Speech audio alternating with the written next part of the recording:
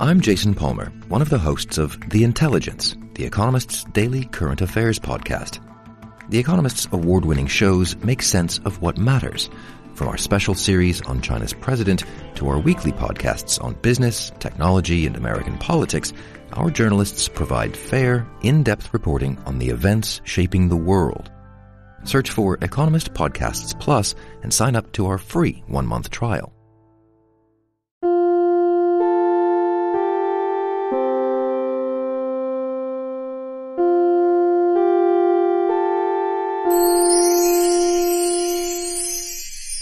おつかり面カラフルハイスクール本音で語ろう高校生の今の声を聞き一緒に話していくコーナーです一緒に話していくのはこの方あんちゃんです。よろしくお願いします。よろしくお願いしますさあ今日は高校生と一緒にお話ししていくんですが高校2年生のまいまいさんですよろしくお願いしますよろしくお願いします。よろしくお願いします。まずはあの自己紹介から軽くお願いしてもいいですか？あ、はい。高校2年生のまいまいです。よろしくお願いしおます。お願いします願いします。なんか大好きなものがあるんでしょ？あ、リラックマがめっちゃ大好きです。かわいいなんかねまいまいさん今ビデオつけてくださってるんですけどなんかリラックマ好きそう リラクマ好きそうな顔は何ですか？いやなんかなんとなく？なんとなくなんかオーラがもう優しいオーラというか優しくて可愛いオーラがファーってなってなるほど。あーリラックマ似合うとい思いながら素敵な笑顔ですね、本当。ねえそしてハマってることがちょっと面白いですねあ、なんか可愛い人とか美人さんを眺めることが大好きです。これね私全く同じ趣味持ってるんですよそうなん？なんか男性アイドルも好きなんですけど昔から可愛いモデルさんとか女優さんとかアイドルさんとか見るの大好きでうん。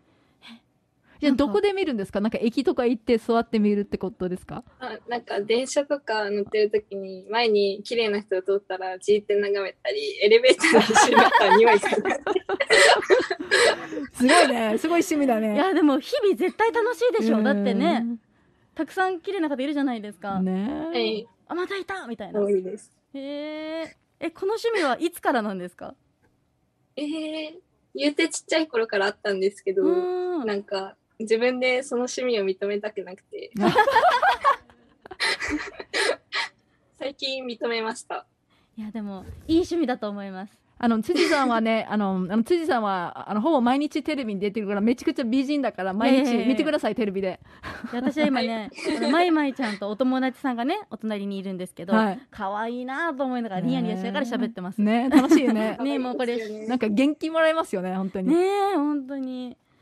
そしてこれだけは言わせて私の叫びも教えてもらってもいいですか？はい。なんか結構こういう人になってほしいとか、うん。こういう対応してほしいとかなんかそういうのをちっちゃい頃から結構言われてきてて、うんでもなんか自分が実際したいのはそういうことじゃなかったので、うん。なんかそういうのはやめてほしいなって思います。勝手に期待しないでってことかな。はい。あるよね。なんかね。でもなんかあんちゃんはお母さんじゃないですか、はい。子供にそういうこと思ったりしません？そうなんですよね。やっぱりね、あの、他のなんかママ友の子供を見て、なんか、あの、塾に行かないでなんか東京大学に行けるとか、そういう子を見てね、え、どうやってそういう子をね、育つのとか思ってしまうんですよね。うん。でもやっぱり自分の子供はもう全然違う人だから、もうその子供も素晴らしさがあるから、でもやっぱり比較してしまうんですよね。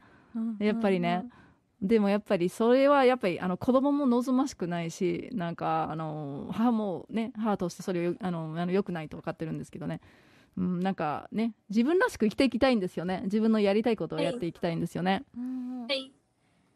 で今行ってる行ってる高校はすごくそういう自由がある高校なんですよね。あはい。結構校則とかも自由で自分のしたいことをできる高校です。へえなんかこう今やってて楽しいなって思うこととかってあるんですか？あなんか自分の将来の夢と同じような夢を持った人たちが多くてうん。そういう意味でなんか本来の自分を、えっと、何も気にせず出すことができるっていうのが一番楽しいです。あーちなみにその将来の夢っていうのは？将来の夢は、えっと、シンガーソングライターになって自分の歌を一人でもいいから誰かに届けることが将来の夢です。うわー、素敵です。一人と言わずもっとみんなに届けてくださいよ。もうね少なからずこのスタジオでね二人めちゃめちゃ歌を聴きたいと思って聞きたい聞きたい。え、YouTube とかやってます ?YouTube のチャンネルとかあります？やってないです。やってない。いいつか聞きたいね。え歌うことは昔から好きだったんですか？あ 昔から好きだったんですけど、結構なんか、自分の好きなものがちっちゃい頃からあんま分かってなくて、ああ、なるほど。勉強ばっかしてたので、で、いつ、あの、悟りが開いたっていうか、なんか、あ、やっぱりこれだって思ったんですか？えっと、1回目は中学2年生の時なんですけど、その時も、えっと、結構悩んで、でも最終的には勉強の道を選んで、その後多分高校1年生の夏休みぐらいに、やっぱ音楽に行くって決めました。で、あの、転校しましたか？ああの、あの違う子。転校しました転校しました。そうなんだすごいね。ね、高校1年生でそういう大きな決断をするのってすごく大変だったと思うんですけどなんかその時はい何にこう突き動かされて決めることができたんですか、なんか、もともと音楽系の習い事を、その、ちょっとだけやってたんですけど、でもその習い事だけだと、やっぱり進学校に通ってたので、えっと、朝から夜まで勉強みたいな感じでうん、全然練習できなくて、このままだったらきっと後悔するだろうなっていう、そういう気持ちで、はい。で、今は幸せですか？今はきついけど幸せです。それが一番ですよいや、じゃあ、はいあの、あの、結構、あの、音楽を練習する時間とか教えてもらう、えっと、時間がやっぱり長いですか？はい。圧倒的に長いです。ああ、すでもごいね。やりたいことにつながってると頑張れるよねはい。えでもさその進学校に進んでて多分それってご両親とかも望んでる道じゃないですか一般的にこうねみんなこう行くといいみたいな思われてる道じゃないですかうんそこからこうはいシンガーソングライターっていう自分の夢を追うときにこうご家族とはお話とかされたんですか？ああ、はい。めっちゃ反対されました。ああ、やっぱりどうやってね。説得したんですかそれを？えー、泣きました。もう泣くほど私は夢を叶えたいんだって熱く語ったみたいなえーめっちゃ話し合いました。うーんでも、でも、なんかわかる。なんか、その、お母さんの立場がよくわかります。なんか、やっぱりその社会ではこういう道がある。で、うんこういう道行ったら成功する可能性が高いっていう考えがあって、なんか安定してる安みたいな、ね、定するよね。でもやっぱり自分の娘もあの同じ感じでそのその普通の道がねんなんか楽しくないから、うんだからやっぱりねそういうをすあのその道を認めてあげるとすっごい子供が幸せになったんよ。うーんあやっぱりね自分の夢じゃなくてあの子供の夢の方が大事なんだなって私はあのお母さんとしてね気づいたからね、あれが大事なんだなと思って。うんねうん。ね本当にご両親もすごく大切な存在ですけど、うん。やっぱやっぱね人生はねマイマイさんの人生はマイマイさんのものだからねそう。なんですよね。自分で決。めた方が悔いがないですよね、うん。そっかすごいね頑張ってほしい。ね。またちょっとお話は変わるんですけど最近のこう悩みとか気になる話題とかありますか？あー最近気になることは、うん。身長が全然伸びないことです。あら。そうなんだ。あれ今高校2年生だから17歳とか？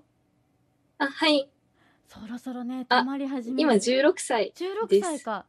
はい。身長って何歳ぐらいまで伸びるんでしょうね？いや私はね12、3ぐらいで止まったんよ。止まったんよ、あほんちょっとい、早くないですかそれ、早かった。うん私何歳だったか。でも中3ぐらいでもう止まっちゃった気がする。そうね。そっからじわじわ伸びたり縮んだりみたいな。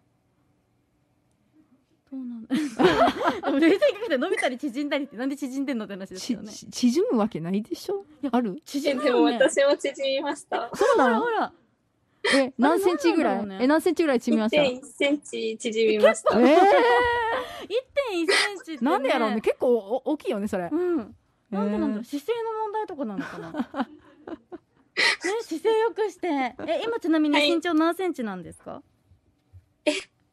152.9うわです。ーいいや十分十分可愛いよね。十分十分いいじゃんいいじゃん、うん。え何センチになりたい？163になりたいです。結構11センチか。ねいっぱい牛乳飲んで、え。ねいっぱい寝よう。さあ。はい。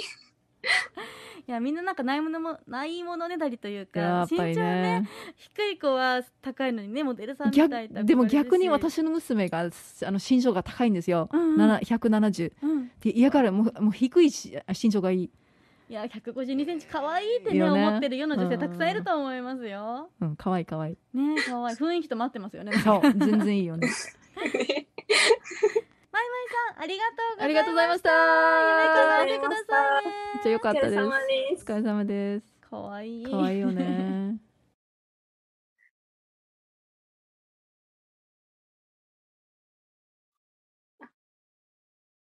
裏には裏がある。